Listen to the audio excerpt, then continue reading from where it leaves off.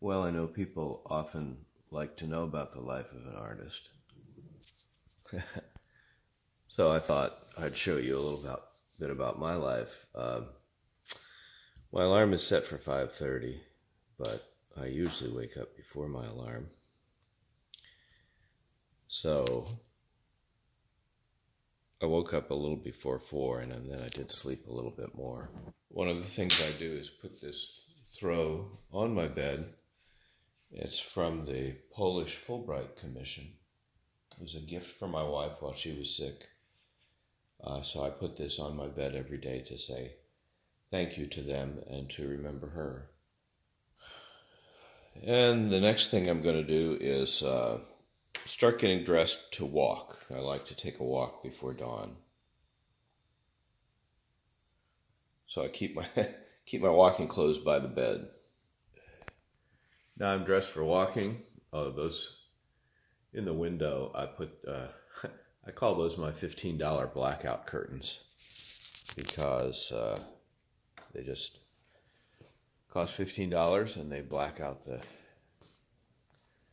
light. So now I'm going into the kitchen to make some coffee. Can't live like can't live like this without coffee. Uh, so let's turn the light on, a little light. And uh, there's my coffee maker. There's my grinder. So I make two double shots of espresso. I do make the espresso half half caf.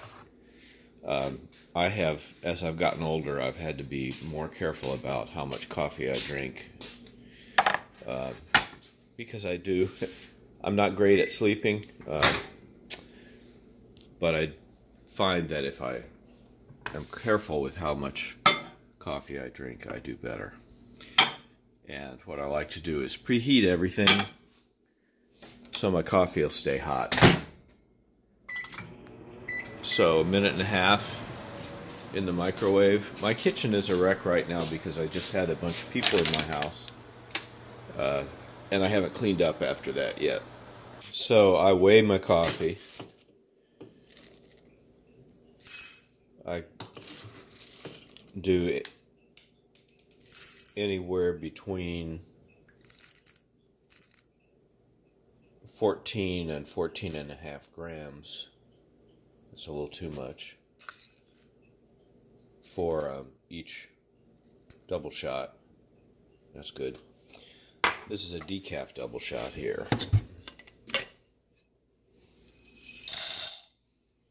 In the grinder. Okay, now I'm going to get my preheated water, my preheated cups. Uh, this is the cup I'm going to drink it out of. This is a little cup that I made when I was doing high fire oxidation porcelain in uh, Milwaukee. In the in 79 to 81, I still have a quite a bit of the pottery that I made because I was never good at selling it. So.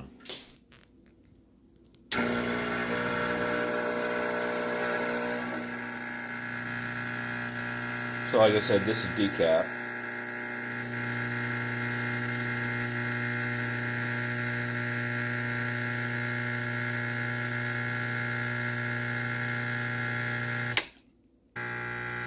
And here's the regular one. Now these these little uh, espresso cups are about two and a half ounces. Um, so it really is a double shot.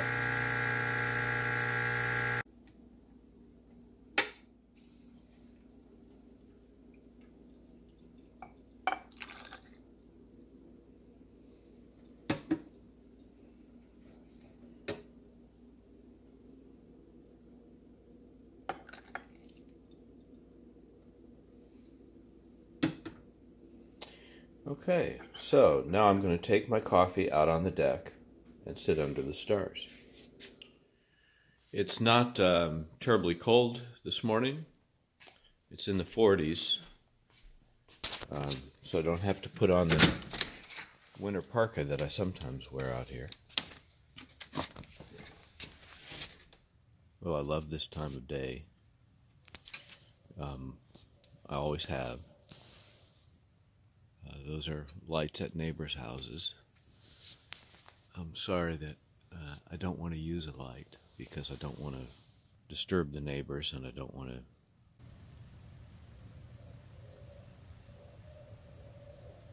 I don't know if you could hear that or not. That was a barred owl, B A R R E D. It's the largest owl that lives in this part of the country. And uh, we hear them quite a bit.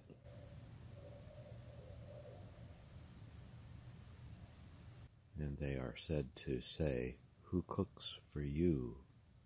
Who cooks for you? uh, my wife Pam loved hearing those owls. Anyway, my wife and I used to sit out here on the deck with our coffee before light and talk. Now I sit out here by myself, of course, and uh, it's my quiet time. It's a time to remember her. It's a time uh, to talk to her. So I'm going to stop the video for now. Okay, so now my coffee's gone, and I'm going to go inside and get ready to go on my walk.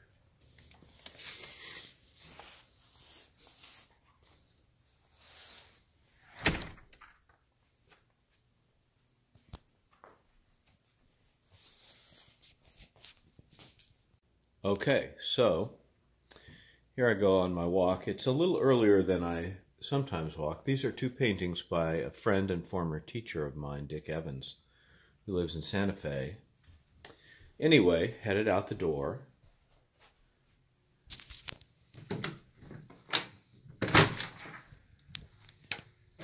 Still dark. Uh, as I said, I, I love this time of day. I always have. Always been a morning person, early riser. I love getting out and walking before it's light. So this neighbor is up. She's always up early. She's from Buffalo, or the Buffalo area. And uh, it's not 5.30 yet, and she's up. A little ways, a little ways up here at the top of the neighborhood, there's an older couple. Uh, She's in her 80s, just beyond 85. He's 92. And my wife Pam always put their newspaper up on their stoop right next to their door so they don't have to go down their front steps to get it. I, I do that when I walk now, um, partly for them and partly for Pam, because Pam would be doing it if she were still here. And uh, it's just a nice thing to do for a neighbor. Um, might be too early for the paper today. The paper might not be here yet. I might have to remember to do that on my way back. Uh, and sometimes I forget when I walk before the paper is here. Let me just look here. Oh yeah, it's not here yet. So I got to remember to do the paper um, when I'm on my way back home. So I walk out of our little neighborhood uh, to the next neighborhood over, which is gated, and their gate doesn't open till 6 a.m. So I uh, I know where their little path around their gate is, um, and I'll be going through that path this morning uh, because the gate won't be open. Like I said, it's not 5:30 yet, so the gate will still be closed. Most of the people in the neighborhood know me. They they knew my wife. Uh, they have seen me. They saw us walking every day. Uh, see me walking every every day a couple of times, and uh, so they're not bothered by the fact that I come in before their gates open. I, I know there are a couple of people in the neighborhood who don't like that people from outside come in and walk um, but most of the most of the folks are really friendly and uh, don't have a problem with that. It's a really nice time of day to be out and about. Okay, so here's the gate. It's closed. I'm gonna go around here to go to the little path that's here for to allow residents to get in and out before the gate opens or you know after it closes.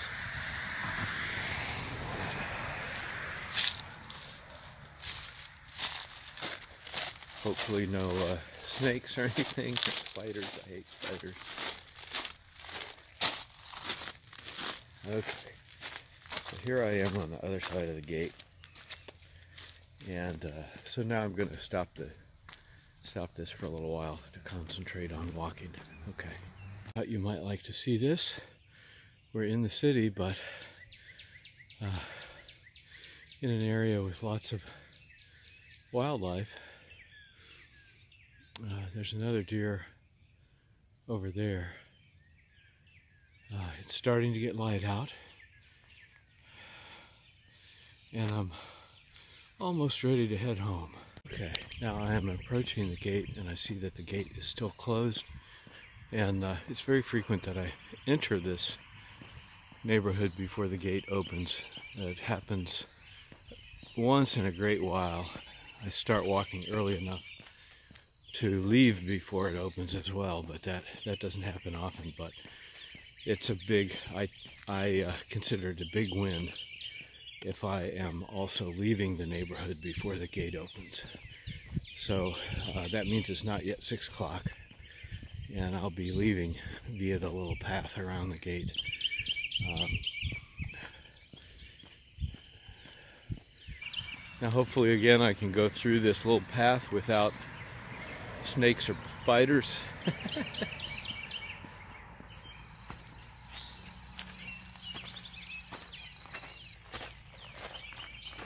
nice little gravel path. It's obviously made for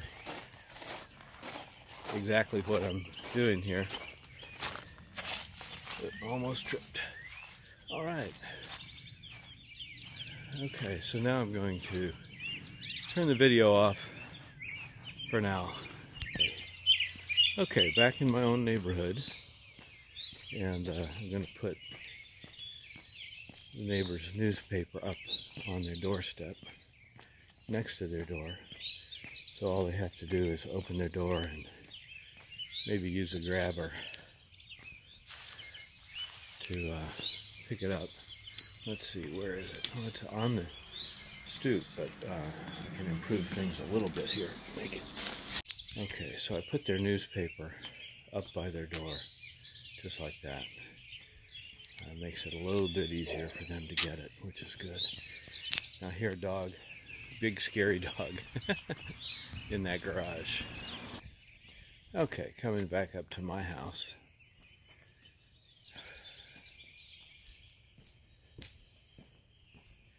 Back from my walk.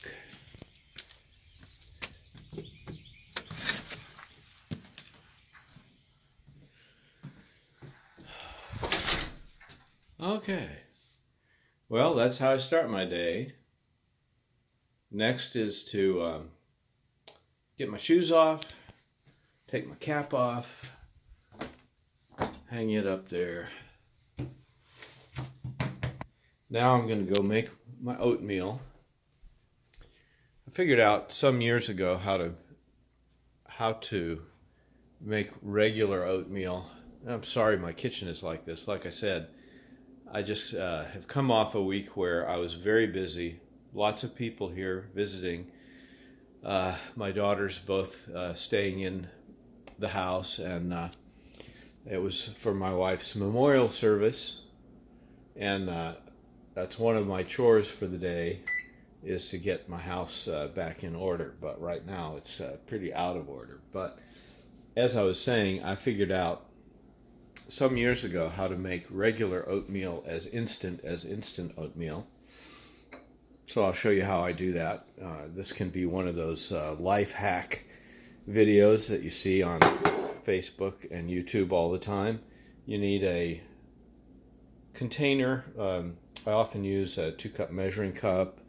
Uh, this is a bowl that I made when I was a potter in upstate New York uh, in the 80s.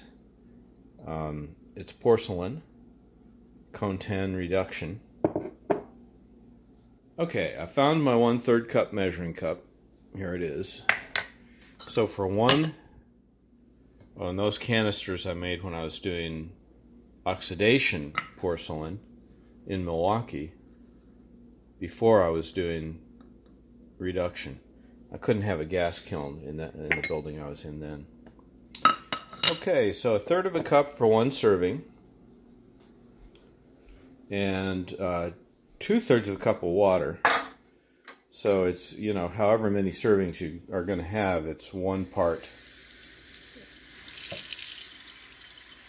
oats to two parts water. And you got to have some extra room in the container because it's going to boil. And you don't have to stir it because it stirs itself and it's not going to boil over because I'm going to put it on 30% power. Uh, so I can go take my shower while it's cooking, and because it's not transferring into another container, it's going to stay hot. But by the time I'm done with my shower and out here, it will be cool enough to eat. So, to make this really instant, seven minutes,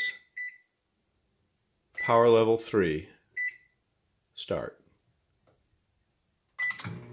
There, that's it. Instant oatmeal, only it's not instant, it's regular, which is much better, I think. Okay, so out of the shower, back to the kitchen. Here's my oatmeal. Oops. You can see uh, it's all cooked. All cooked. Um, put some raisins on it.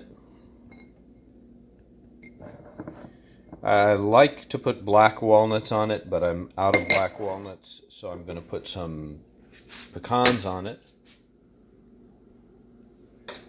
I have some pecans in a sauerkraut jar, and I actually like to get pieces of pecans. I accidentally got um, half pecans, so.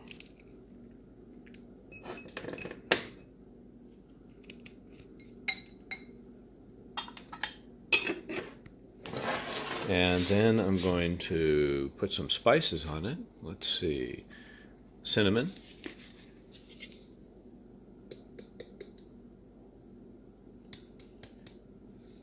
You can use as much cinnamon as you want, and it won't hurt anything. Same with cloves.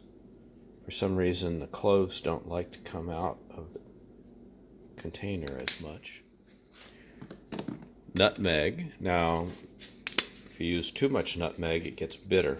So I don't want to use too much. Oh, and sometimes I put a little ginger on it as well. And now, how about some honey? I don't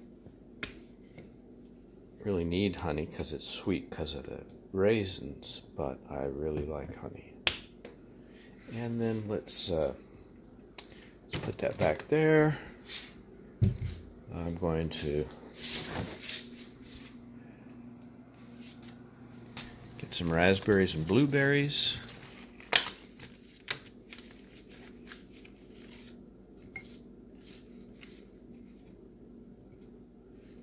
Okay, so blueberries. Okay. Not a bad not a bad breakfast. Whole grain oats, nuts, raspberries, blueberries, honey. Very tasty. But before I eat, I'm going to open some shades to get some daylight in here. Okay, so now I've had my uh, oatmeal and it's time for second coffee, what Pam and I always called second coffee. Uh, and while I drink my second coffee, I will plan my day and write some things in my uh, notebook, which I use for to do lists and journaling. Uh, I've checked my email, I've checked my Instagram and Facebook. Uh, now I'm going to try to stay away from Instagram and Facebook for a while and uh, plan my day while I have my the rest of my coffee for the day. So it's so pleasant out this morning that I decided to bring my second coffee out to the deck. Um, when Pam and I had second coffee together, we would almost always have something that she had baked. She loved to bake. Uh, it was usually a scone. She liked to make scones. That was kind of a hobby of hers. Um, and I'm a good cook, but I don't really bake much. I have at times, but so now, if I have something with my second coffee, it's usually store bought or uh, just some nuts and chocolate. I thought I would turn my camera. Thought I would turn my camera around here so that you can see me. Um, but here I am out on the deck. It's a beautiful morning. Um,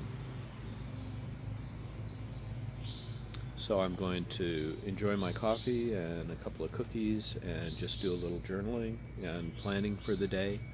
Um, I'm really off my routine now, uh, but I'm actually, actually I don't really have an established routine.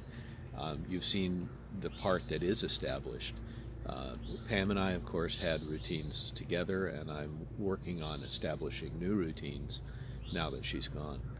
Um, those of you who knew her uh, know what an incredible person that she was. Um, I did not intend to make this video about her, but uh, for 49 years she was the absolute center of my life.